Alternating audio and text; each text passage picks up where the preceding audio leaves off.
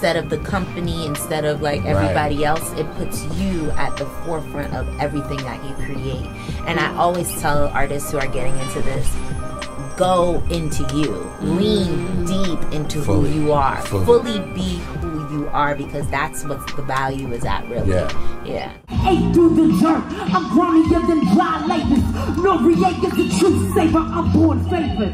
I'm alive. I'm alive. I'm alive.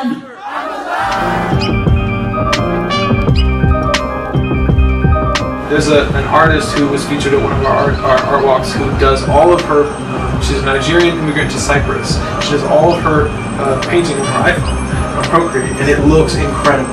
It's so beautiful, and she literally said that she put her very last money that she had, period, into minting her first NFT, and now she's making thousands and thousands of dollars in amazing. ETH. That's incredible, yeah, it's incredible, Yeah.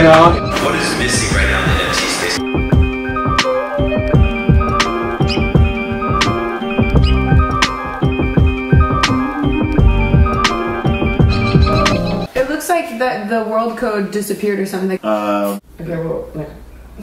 now I'm seeing. Well, now? How do I pick up the snow? Yeah, I can hear you. Uh-huh. Stop throwing fireworks at me. Can you please give him the headset? Okay, there you go.